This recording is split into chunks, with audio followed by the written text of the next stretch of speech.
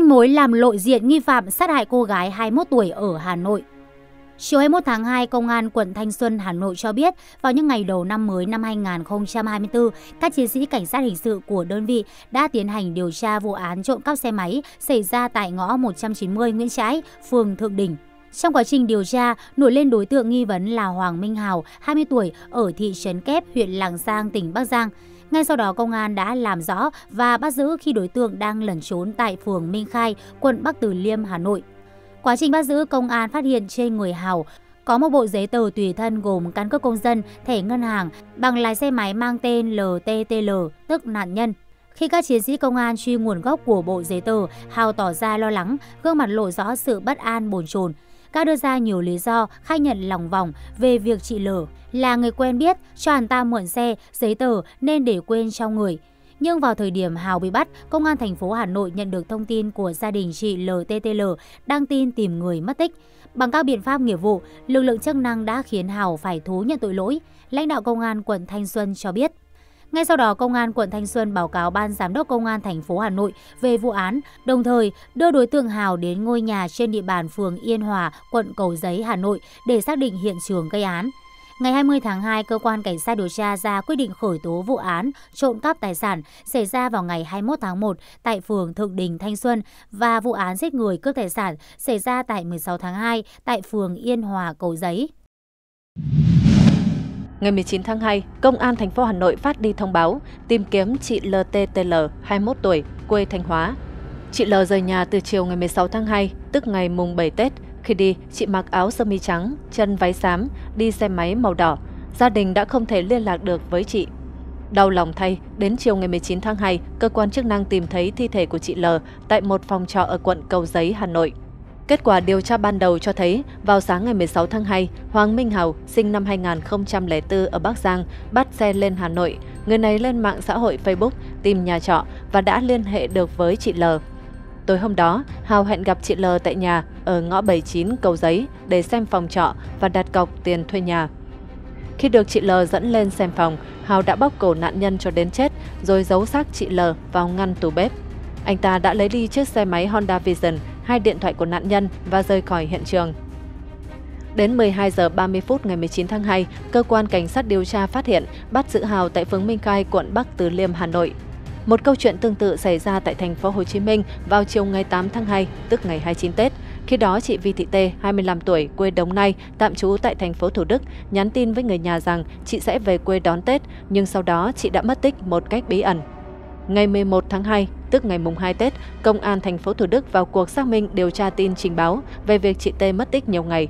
Cơ quan điều tra xác định Nguyễn Đăng Khoa, 25 tuổi, cư trú tại phòng trọ số 14, nhà số 103 trên 18, đường Quang Trung, khu phố 5, phường Tăng Nhân Phú B, thành phố Thủ Đức, là đối tượng có nhiều nghi vấn. Sau 24 giờ truy xét, cơ quan điều tra đã làm rõ vào khoảng 15 giờ chiều ngày 8 tháng 2, sau khi dẫn dụ chị T qua phòng trọ của mình, nhờ chị phụ giúp dọn đồ đạc, Khoa đã khóa cửa phòng trọ, dùng dao đe dọa uy hiếp nhằm mục đích cướp tài sản của chị T. Khoa đã đâm chết chị T và còn thực hiện hành vi hiếp dâm đối với nạn nhân, đồng thời chiếm đoạt một lắc tay và một nhẫn trên người, hai cái nhẫn vàng và một sợi dây chuyền, một đôi bông tai bên trong ba lô và 3 triệu đồng trong túi đeo chéo của chị T. Để che giấu hành vi phạm tội, Nguyễn Đăng Khoa đã dùng dao phân xác nạn nhân thành nhiều phần, bỏ vào túi ni lông, đem đi phi tang tại khu vực bụi cây rậm rạp ven đường nội bộ khu công nghệ cao thành phố Thủ Đức, thuộc phường Tăng Nhân Phú A, thành phố Thủ Đức. Liên tiếp các vụ cô gái bị sát hại trong thời điểm Tết Nguyên đán vừa qua đã khiến nhiều người hoang mang và lo lắng. Theo tiến sĩ luật sư Đặng Văn Cường, dù vụ án giết người kể trên xuất phát từ nguyên nhân nào đi chăng nữa, hành vi sát hại cô gái tuổi đời còn quá trẻ ở thời điểm Tết âm lịch là hành vi rất tàn nhẫn, thể hiện ý thức coi thường pháp luật và gây đau thương mất mát cho gia đình nạn nhân. Cơ quan điều tra sẽ làm rõ nguyên nhân sự việc, diễn biến các hành vi vi phạm pháp luật của đối tượng gây án, xác định hậu quả đã gây ra đối với nạn nhân và xã hội để xử lý nghiêm theo quy định của pháp luật để răn đe phòng ngừa chung cho xã hội. Tiến sĩ Đặng Văn Cường cho hay, khi tìm thấy xác nạn nhân, cơ quan điều tra đã khoanh vùng xác định hiện trường để tiến hành khám nghiệm, thu thập các dấu vết để lại trên hiện trường, các dấu vết trên tử thi và khám nghiệm tử thi để xác định nguyên nhân tử vong, thời điểm nạn nhân tử vong. Việc xác định hiện trường chính của vụ án, nơi nạn nhân tử vong rất quan trọng để xác định được nguyên nhân tử vong và dựng chân tướng hung thủ gây án. Nếu không xác định được hiện trường nơi nạn nhân tử vong, sẽ rất khó để tìm được những chứng cứ quan trọng, xác định được nguyên nhân vụ án và chứng minh về đối tượng gây án.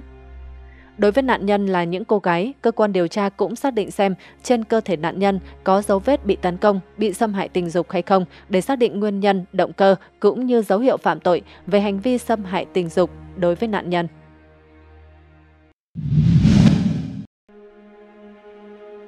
Quê nhà, tiễn biệt cô gái trẻ xinh đẹp bị sát hại, giấu thi thể.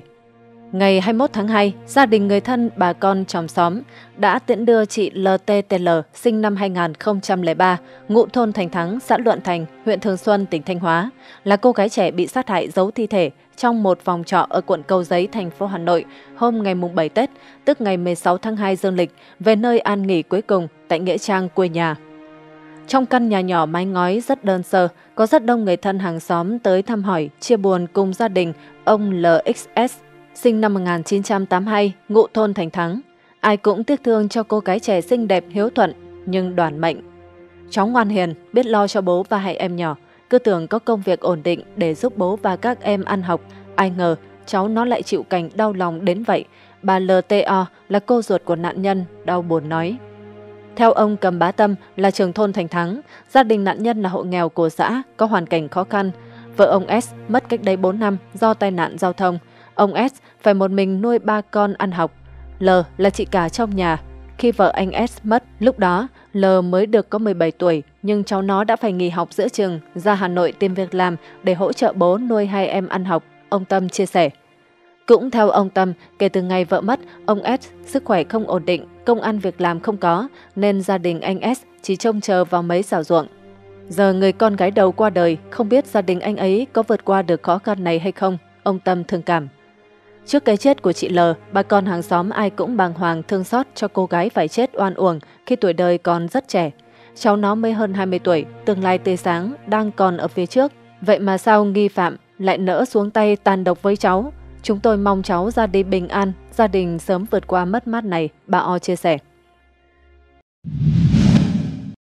Như đã thông tin, khoảng 12 giờ 30 phút ngày 19 tháng 2, Công an quận Thanh Xuân đã bắt giữ Hoàng Minh Hào, sinh năm 2004, trú tại thị trấn Kép, huyện Lạng Giang, tỉnh Bắc Giang để điều tra làm rõ hành vi sát hại chị LTTL, sinh năm 2003, tỉnh Thanh Hóa, trú tại phường Mỹ Đình 1, quận Nam Từ Liêm, thành phố Hà Nội. Theo thông tin ban đầu, ngày 16 tháng 2, Hào lên mạng xã hội tìm nhà trọ và đã liên hệ được với chị L. Khoảng 17 giờ 30 phút ngày 16 tháng 2, Hào hẹn gặp chị L tại căn nhà trong ngõ 79 cầu giấy để xem phòng trọ, nhưng do không đủ tiền đặt cọc nên Hào đi về. Đến khoảng 20 giờ 30 phút cùng ngày, Hào tiếp tục hẹn gặp chị L tại nhà trọ trên để đặt cọc tiền thuê nhà. Tại đây, Hào đã được chị L dẫn lên phòng 302 tầng 3 để xem phòng. Thấy chị L đi một mình nên Hào đã nảy sinh ý định cướp tài sản và đã dùng tay sát hại nạn nhân. Sau khi thấy chị L chết, Hào đã giấu xác nạn nhân vào ngăn tủ bếp đối tượng đã lấy một xe máy hiệu Honda Vision, hai điện thoại của nạn nhân và rời khỏi hiện trường. Gây án xong, Hào sử dụng xe máy của nạn nhân làm phương tiện đi lại và thuê nhà để ở tại ngõ 152 Nguyễn Đình Hoàn, quận Cầu Giấy. Đến 12 giờ 30 phút ngày 19 tháng 2, công an phát hiện bắt giữ Hào. Hiện cơ quan cảnh sát điều tra công an thành phố Hà Nội đang tiếp tục điều tra làm rõ vụ án để xử lý nghiêm theo quy định của pháp luật.